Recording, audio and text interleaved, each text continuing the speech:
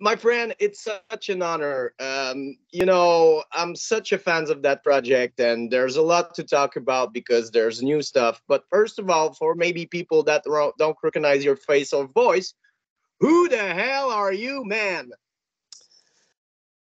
My name is Chad Price. I sing and play guitar in a band called The Vulture Wake.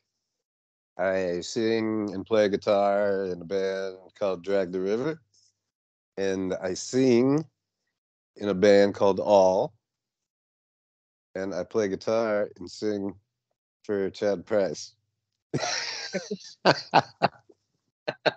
With the band Chad Price. That's right, right. Chad, it's so cool. Uh, Vulture Wake, you uh, released on June a new EP called Kingdom. Um, in Canada, it was released through Thousand Island Records. Um, mm-hmm. I listened to it a lot since the release. I love the records. I mean, why I love so much that records, that EP, is because you didn't stop yourself trying to find a, a, line that you're gonna follow. You try stuff on the records. It's almost prog punk in a way, like all did many times. Uh, was it something that came naturally during the process of creating uh, the songs, or it's something that you have in mind to do? Um, well, uh, like the the way we write uh, most of the stuff, uh, like Brandon, uh, g- guitar player, like he would send uh, like a bunch of music uh, to me, like just guitar riffs and shit. Uh, so I, you know, uh, to tell you the truth, like the last uh, few many years i've been listening to like a lot of metal uh, and then i got into like a lot of like prog rock and like really into like 70s kind of stuff. Uh, you know like jethro tull and that kind of shit. So and uh, you know i really like coheed and cambria stuff. Like i like uh, a lot of a lot of like very dramatic uh, kind of cinematic you know, sounding things, you know, like epic things. So, uh, I mean, I I never really set out to write uh, anything like pro, like you know prog punk or whatever you want to call it. Uh, but I, you know, like I, my brain is just has gotten to the point I think where it, it like needs like more. Like I can't do three chords. Can't do it. Like my, I too, I get too bored. Like my brain like needs like a lot of intricacies and interactions and stuff. So uh, you know, like as I was crafting like the songs, I mean, I wrote like half of them just by myself, and then Brandon gave me uh, music and stuff, and uh, you know, the band got involved there. But but uh, you know, I uh, I guess like in the big picture, I was trying to kind of craft something a little like kind of it's cool very dramatic you know i think i'm at that point when you know i'm looking to new music i'm trying to find something that you know make me make me think okay those guys did something so original i need originality and there's something missing for many years because most of the band there's a lot of band that started up try to recreate what they love. We love Blink, mm-hmm. we're gonna play like Blink, and sure. it's never kind of working. You have to really find your own path, and I think with the Vulture Wake, you distance yourself from every project you do, and it's very different. And I'm sure that you know you don't take a project to do the same. It's always to do something mm-hmm. different mm-hmm. and push yourself uh, as a musician, but also uh, with the other member. Yeah, for sure. Um,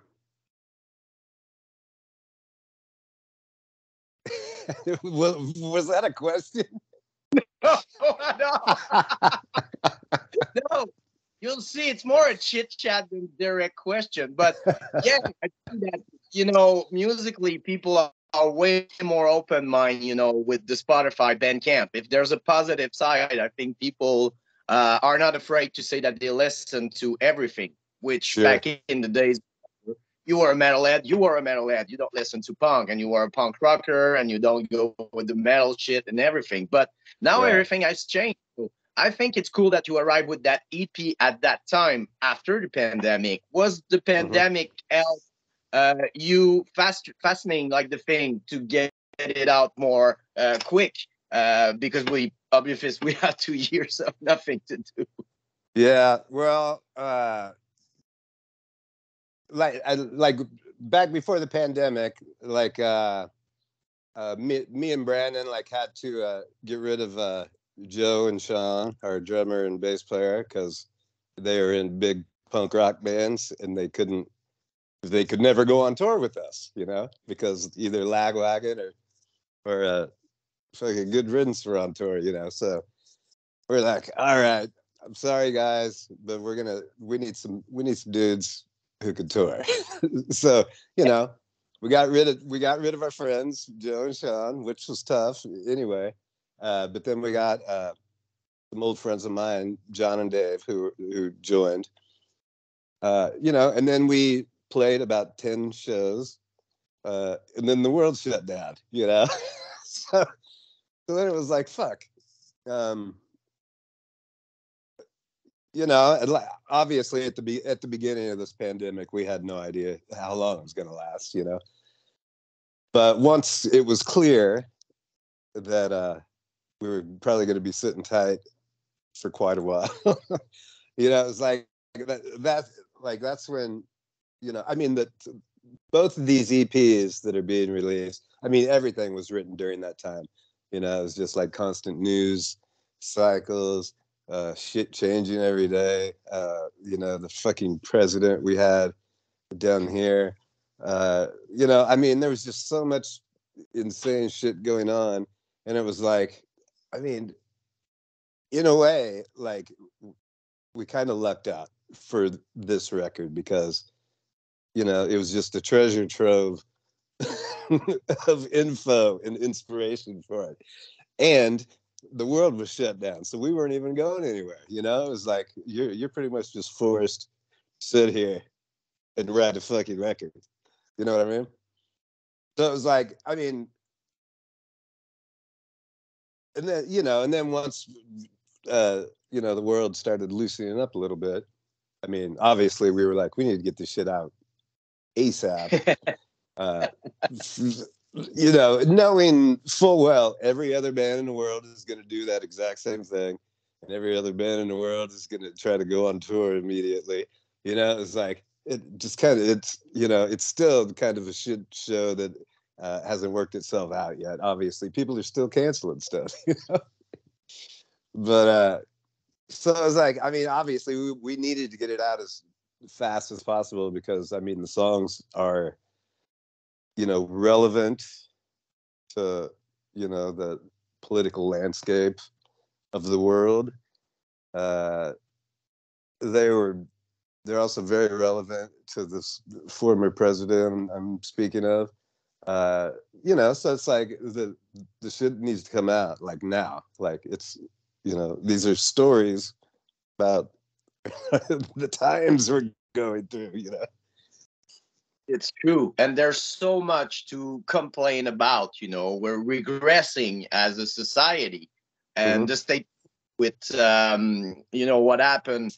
Uh, and there's so much thing, you know, like the racism during the pandemic, get out again, like like it's a nonstop circle that seems to have no hand. And it's weird because I think that our generation and your generation, we're kind of stuck in the middle where our parents didn't really give a fuck about all those things because it was not of their time and i cannot blame them and Right. we start to understand that it was wrong the nature the racism uh, how we treat people around us gender and then you got our kids that are into that and they- they're Yeah. so scared of this situation and they want to change it so it's a clash of generation where the old farts are politicians and the government and they try to put that mark you know in my time it was that so it's gonna be like that now and it's gonna end it's it's just a matter of time but it's it's really pissed me off too that we're really regressing as a society and in canada it's the same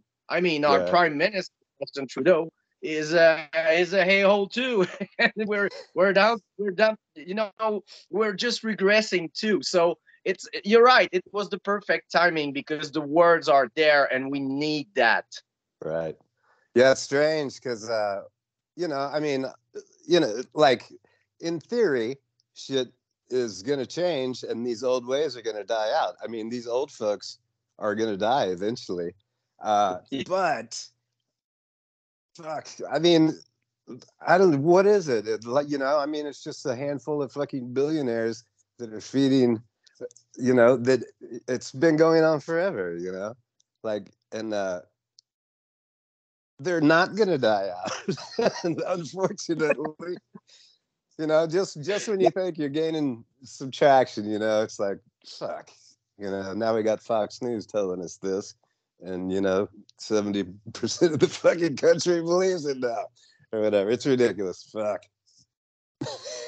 you know, it's gonna be crazy because you're gonna be back in Quebec and like the people are getting so crazy at shows because of all that. You know, we we we were living 400 miles an hour before the pandemic, and then we had the time of our life in front of us during two years. So I think a lot of people that didn't want really to understand or didn't give a shit about that with what you say, like Fox News in the States here, it's TVA, which is like shit there. It's just, just about fear and and getting you think that it's it's the end of the year, you know, every news and it it it, it, it that create a climate where now people just want to go off, they just want to have fun and be happy and just, you know, be with each other. So it's cool to see that we we understood a lot of things that you know we took for granted and we can lose any time, like music.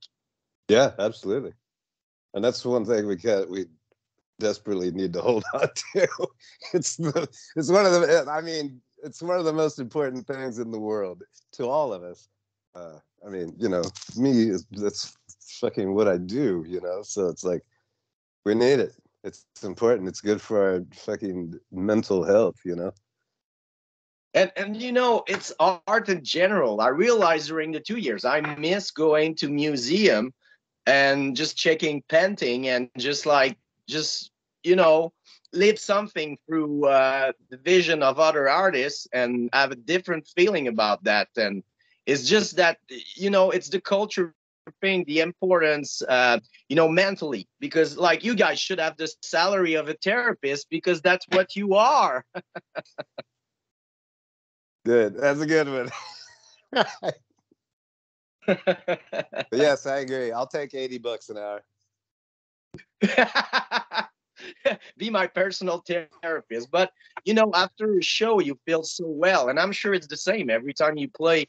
Like the amount of energy that the, the crowd gave you, and just the brain just feel great for the next two days after. I'm sure. Oh yeah, absolutely. Yeah, I can't wait to get back up there uh, into Canada. That um, is this music for cancer at the same location as it was the last time we were there. Yes. Uh, you did you play inside? Because there was a couple of years the venue was inside. Outside, yeah, it's the same place. That's it. That that small town. Yes. Yeah. It's Cool. it's it's not great. really big. Yeah, I loved. I loved it. That that place was so beautiful. That, that was such a good time. It's a it's a cool festival and you know it's it's uh most of people would think that a festival like that would happen in montreal but it's cool to see like those little towns and i'm sure you guys will not aware of will never go outside like playing a gig like that no, no, no. do you remember chad the first time you came in quebec um not with a vulture wake but uh maybe with all or another project Mm, I don't. I mean, I'm. It was obviously all, you know, and it was it was probably right when I joined the band, you know. So it was uh, thirty years ago. you yeah know? and, and if keep going there was so much down that i'm sure you lost count at the point yes. Yeah, yeah, yeah, yeah. And uh, I mean, when I was young and shit, you know, when I first started touring, Uh, I mean, I was just so excited. Uh, everything it was just a whirlwind, you know. So like, I don't even know. Like for a couple years, I was just fucking just floating along. I had no fucking idea what I was doing, and it was just a blast. It's crazy, and and you know, before you joined out, were you involved in other band or were you writing songs? How, how and how that offer came to you? Um, I I was in a band. Uh, I mean, I had been in a few bands. Um, nothing serious, you know. I mean, you know, kind of out of high school, and then you know, when I was 19, 20, um, uh, I had this band called Apple Tree. Um, we were just, you know, kind of a rock and roll band, uh, all our replacements or Soul Asylum, that kind okay. of thing. Not near as good, obviously, but uh, at, at at some point, uh, I I met Bill. Uh, we kind of kind of became friends. Those guys actually moved out and uh, lived like two hours away from me. Okay. Uh, and and then uh, like Bill knew I was in a band and shit. Uh, so whenever Scott quit, he just he just called and asked if I wanted to try out. And uh, I was the first one to try out. Uh, and then he flew out to LA for like a week and uh, came back and told me I got it if I want it. and then shows, album, shows, shows, shows, album. Uh, yeah. The road they did. It's crazy. Like think about it that you know, like you said, you were involved in in music, but not in big touring and everything and get in all even if for a, a lot of people uh, there was not as big maybe at the descendents but still they had such an impact and for every musician that i know every pop musicians uh, love all because it's uh, it's a musically uh, and really interesting band because like you do with a vulture wake they really try a lot of things and, and bring riff that people like what the hell? I will never put that in the songs but that's work because it's all. Right right. Yeah totally. Yeah but um oh shit. Oh sorry. Um. I feel like the couch tried to eat chad. It did. I had a pillow behind me that's doing something. Just couldn't figure out what's going on. Okay, where are we at? Yeah. So when you joined, oh, you went on tour like crazy. And was it something that got you really exhausted fast? Because, you know, without the experience, it's really hard to find the balance at first about resting, not partying, just keep your vocal and. Uh, when I initially joined, uh, like you know, obviously I'm not, I wasn't a professional. I had never sang like night after night after night, you know, until I joined the band. And uh, you know, I mean, we started practicing like every day, so you know, you build up that kind of stamina. But uh, since I'd never really done it uh, live like that, I kind of actually, I mean, I should have and I did. I, I took it very seriously. but um, but me, like you know, like not. I had never been trained or anything for singing. Uh, I always had, uh, you know, I mean, those songs are just a lot of it was is just written at the very top of my range, you know. So you're basically just yelling as hard as you can the whole set so uh like even even though like when i joined the band and stuff like i quit smoking uh I w- wasn't drinking very much you know i'm like i gotta get my shit together. Uh i still you know had problems still had problems. So then you know after a couple years i was like well maybe i'll start smoking again. Start drinking heavily uh, you know, so and then it was, you know, we had a couple more years left in us, and that's pretty much when we stopped. We stopped touring. however long ago that was 20 years ago shit i don't even know anymore and and then I, I think at that time around that time you for uh, drag the river yeah yeah yeah that was uh when was that yeah i mean i joined i joined all in about 93 um uh toured around for a while uh, like a year in into me joining we moved to colorado uh, to fort collins colorado out there and that's when i met uh snodgrass uh from drag the river. So it was about 95 me and him actually started playing uh you know a couple years later we act we had a band uh but yeah i mean we'd been playing since fucking 95 long time yeah and i know john well i did many interview with them and talk about drag the river and that's another thing that that project is so different from all i'm sure people were maybe surprised some positively maybe some negative because it was different. But when you look at it, you guys were kind of pioneers because that sound now a lot of bands try to recreate it. Sure. And you arrived something so different, so original. And I really love the vibe of the band. And the evolution is is really cool too because uh, you and John, you know, uh, as you said, really grow up as musician.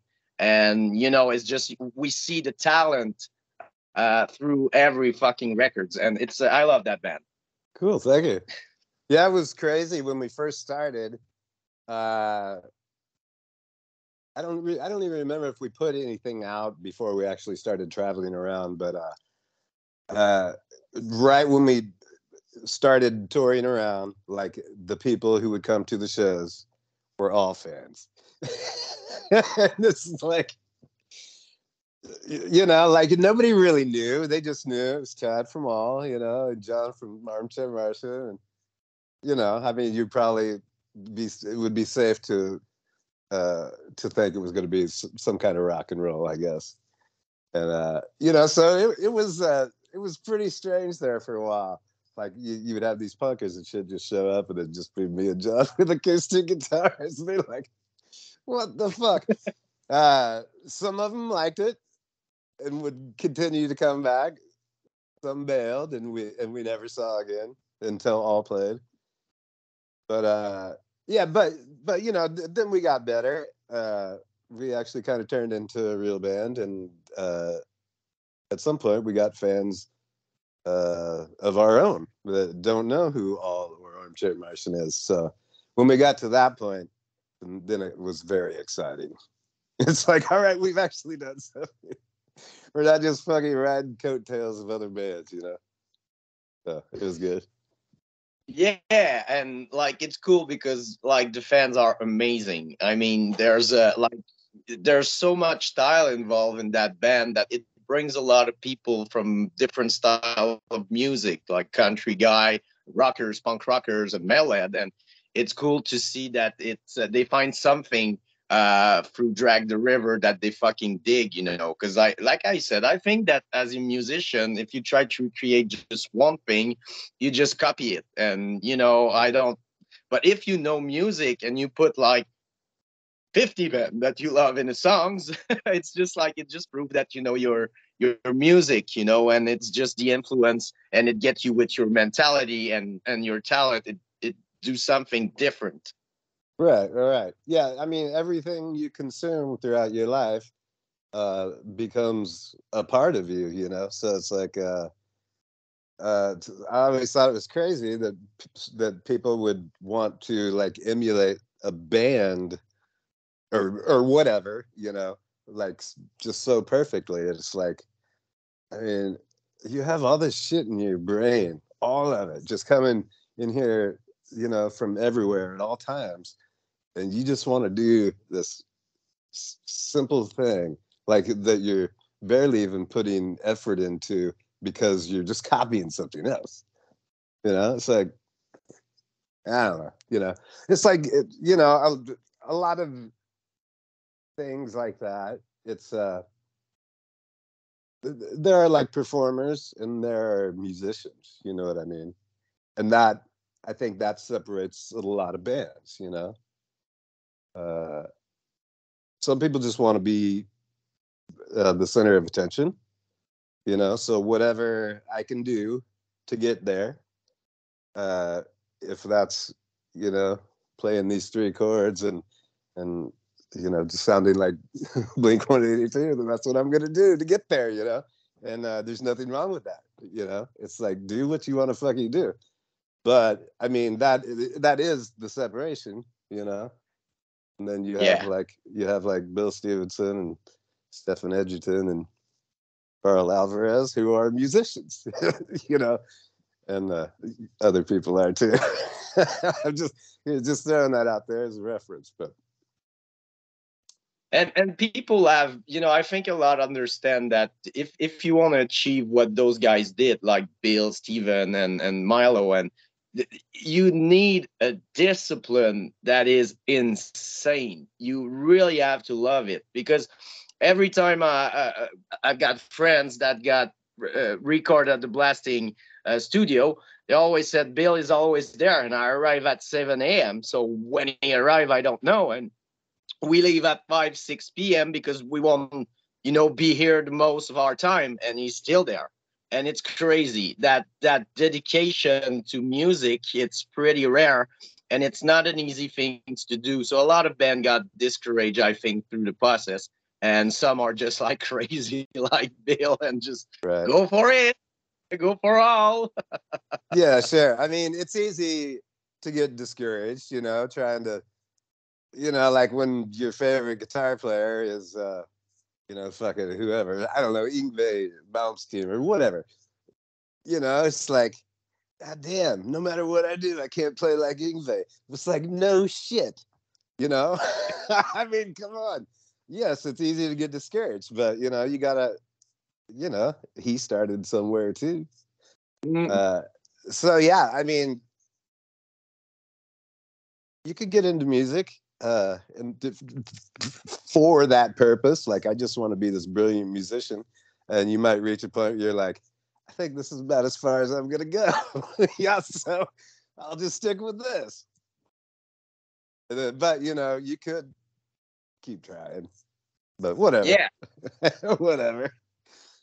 And he, but yeah, uh, but speaking of like Bill and shit, it's like you know, I mean, he practices all the fucking time. Like when I joined All, uh, you know, walk into the practice room and there's a fucking set list that's pretty much every all or Descendents song, right? Like everyone. Fucking set list from like the ceiling to the floor. So like every day we would go in, uh, usually like twice, uh, for a couple hours at a time. Uh, go in, you know, play, play, play until somebody can't play anymore. Then like we go eat, shit, come back in a couple hours and start there and go through, play, play, play until somebody can't play anymore. And it's like we did that like six, you know, six days a week. And uh not everybody has that. I didn't Six. I didn't have it, you know, like but but I'm glad I was put in that situation because now I do have it, you know. Yeah, yeah, and and it's fun that you mentioned that. I think it was the same for Scott. That's what he told me, and when I spoke to Dave too, like that discipline and um, if you want to reach that that goal and higher level, it's uh, that's what you have to do, and it's a pain in the ass, and it create conflict sometimes, and you get exhausted. But at the end, like you mentioned, I think that the, the way that you're proud of that, and after all those years, it's still uh, accurate and decent because of that, you know. Because there are so many records that are so good, the songs are amazing, but it's so bad, you know, re- record. Like the Misfit is a fucking good example. I mean, the era of Glenn Danzig was really bad recording, but the songs are all jam. So it would be crazy Mhm. that those guys had the chance to do what uh, the Descendents did with the first records, and then you know it was so well sounding for that times, and they didn't have much money. It was really the discipline, like you said, like okay, we don't have, we cannot hire another drummer, so Bill, you will have to hit that snares like a million times. Let's do that. That's right. That's right. That's right. Just do it yourself, you know. You don't have the money, uh, whatever. I'll do it. I'll figure out how to do it. You know, that's that's like that's how those guys like recorded. That's how they started recording, and that's why they're like as good at recording now as they are. You know, it's like I'm gonna fucking learn how to do it. You know, I don't want to pay somebody else to do it. It's like I, you know, like I'm not that kind of person. I can't just like I'm not gonna dive into books and shit, and uh, you know, I don't have it in me. But very specific, but you know, specific when, things. And that's cool. So, do you think, like, I'm sure you're in the same, you don't know like me, but would there be any possibility that All will play again uh, uh, for a festival or a show like you did at the Rockfest? Uh, probably. Um, like as as far as any touring or anything, I would say probably not. Uh, but who knows? Uh, as far as festivals, uh, you know, like Bill asked me every now and then, like you know, like we the, we did punk rock bowling, uh, we did the uh, that rock uh, Montebello Rock Fest or whatever up in Canada a few years ago. Uh, you know, so we do like some festival shit every now and then, and uh, I'm always open to doing it. Like, I mean, you know, I love that band, always have. Uh, you know, they were my favorite band before I joined the band, uh, and uh, still love the songs. I still love playing on stage with them, and like when I do that kind of stuff, I actually get to play if, to, to a lot of people, you know, which sadly Vulture Wake does not get to do yet. It's gonna happen at Music for Cancer because everybody's gonna be there. You hear that, Quebec? yes, yes, yes, yes. It's gonna be it's gonna be so much fun. I cannot I cannot wait. And it's gonna be cool because like I, I said, I love the project, and since uh, Thousand Island is involved with uh, Canada part, uh, it bring a lot of people. So a lot of people discover you guys with the first records, and now with the time on their end, uh, with the pandemic and everything, they discovering you with uh, the new EP and also the new single because the EP was released in June, and I think you just released another song that was not on on the EP, if I'm right. You are correct. Um, we have EP number two. It's called Animal. Uh, it's coming out uh, September 9th. September 9th. Wow. Uh, we're we're gonna release another single uh middle August, like August 15th or 16th. Uh yeah, and then uh, the second EP uh comes out September 9th it's a good idea because like you could have released one record but the problem now is things are so fast. So when you release the record in january a lot of people would ask you in september so what you guys uh, is there a new record coming? We just released one eight months ago. Shit it's a long, long time so it's weird. So releasing two ep it keep you on the um, the news fed of like those social media because i call it the monster you always yeah. have to feed the monster. And when you don't feed him for weeks, you're not existing anymore in social media. exactly. Yeah. That way you get to extend uh, being in people's faces, you know, like you, are you always have something to promote. You know what I mean? Um, then, uh, eventually I think the, these two EPs, uh, which are just, which are digital, uh, are going to be side A and side B of uh, vinyl of a full length. Whenever we get that, whenever that part, whenever that comes. I mean, it's already at the the the record plant, you know, but who knows how long it's going to take. Yeah, I think it's because of Adele. Like everybody got delay with because uh, Sonny buff of of all of the you know, pressing shop. And now that there's so much delay, but it's cool that you do it because there's a lot of collector out there and it's they really help band those people. A lot of see them as crazy, but man, without them, it, it, it would be kind of impossible because it costs a lot to press vinyl. You don't get a lot of money through that. And so, like, if people buy every color, it, it it's the game changer, I think. So people, you have to grab that. Yes, for sure. Yeah, it's like I, you know, like I want I want people to have like a physical copy of it, you know. Like I mean, it's great that you could just, you know, get on your phone and listen to any record you want to. Like I love it. Uh obviously, but nobody's making money off that. And uh it's not even about the money, you know. Uh like I I want somebody to have a physical copy of something and I'm not going to do a cassette. I, I am not backing these people who are trying to bring back cassettes. Fuck cassettes. They're pieces of shit. And uh, you know, and like and like now CDs are just like uh you know, like I I still have like boxes of like Drag the River CDs and stuff.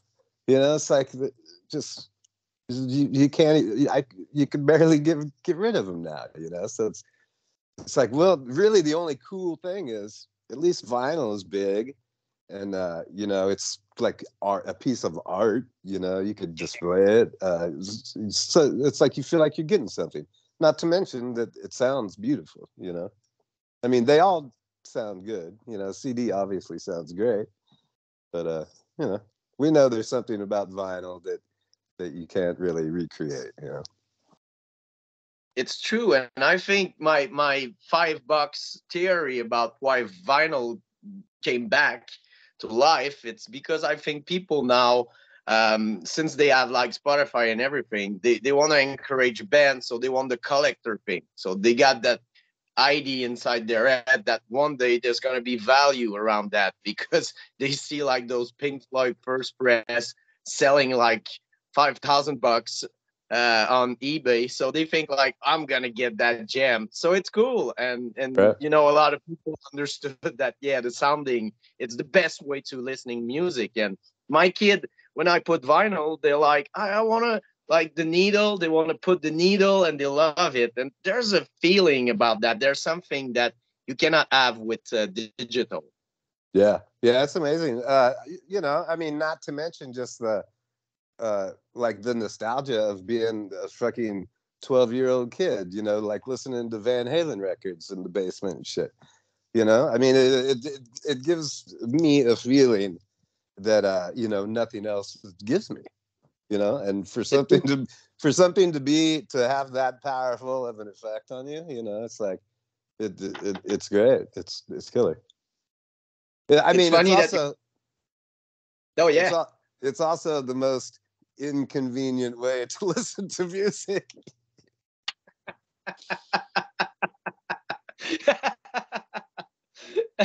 you mentioned Van Halen. That was the first show I saw in my life um, when I was something like 12. That's funny because uh, my first, I mean, like I, I think I'd, I, I saw like, do you know who the Babys are? No.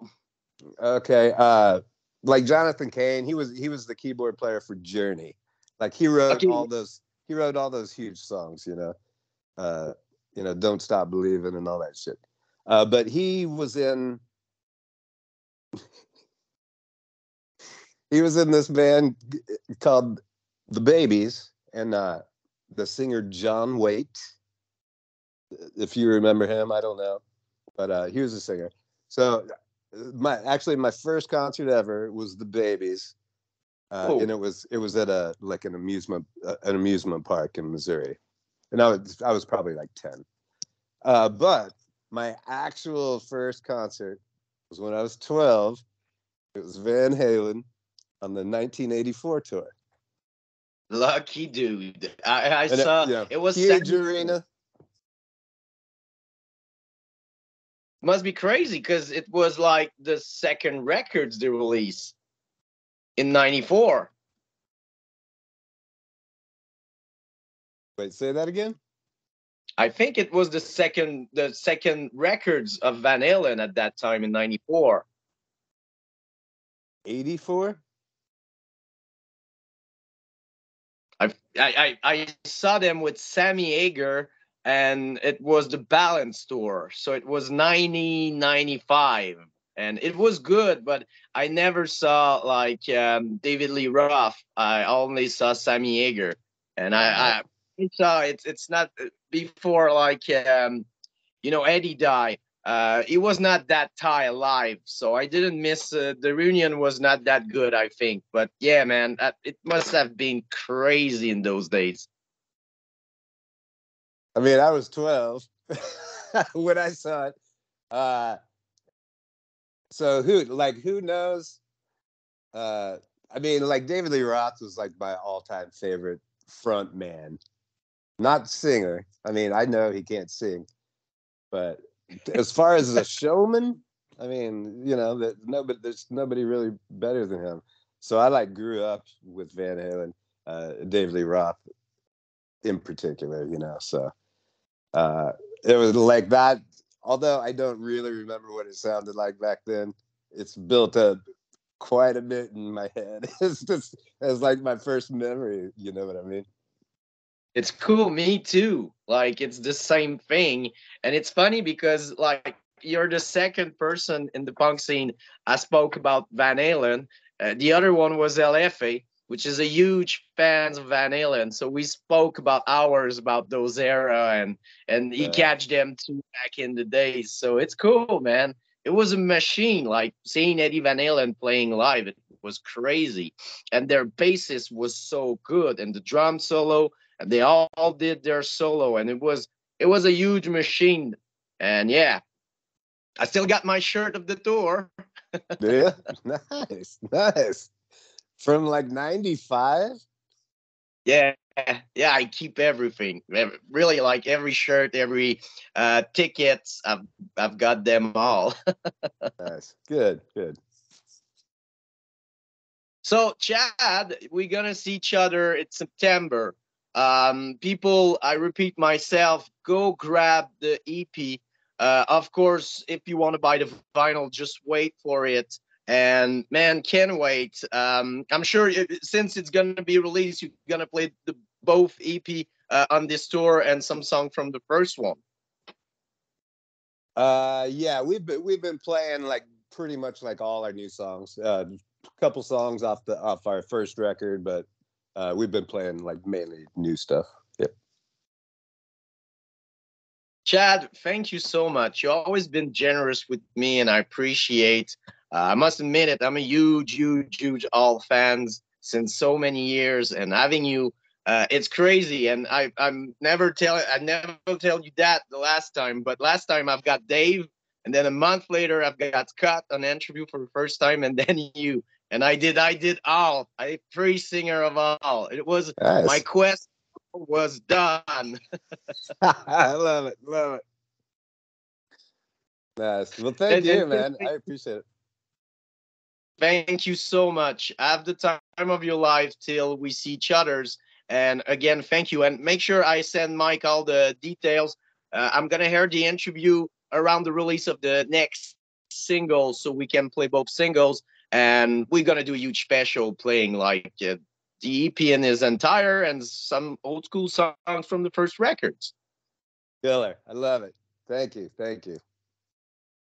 Chad, before we leave, we're gonna celebrate our uh, 14 years anniversary as a radio show. Can you do me a quick ID, but just keep it simple, like I, this is Chad, and you're listening, and happy 14 years. And the show is called Prescription Punk Rock, but go as simple as you want. Prescription Punk Rock, 14 years. Yes. Hey, folks, this is Chad Price. Oh, Vulture Wake. You've been listening to Prescription. uh, Don't worry, I'm doing montage. I'll make it a little simpler.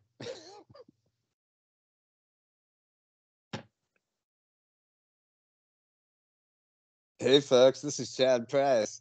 You've been listening to Prescription Punk Rock for 14 years. Hell yeah. Thank you. Two, two takes. How professional you are. not bad. Not bad.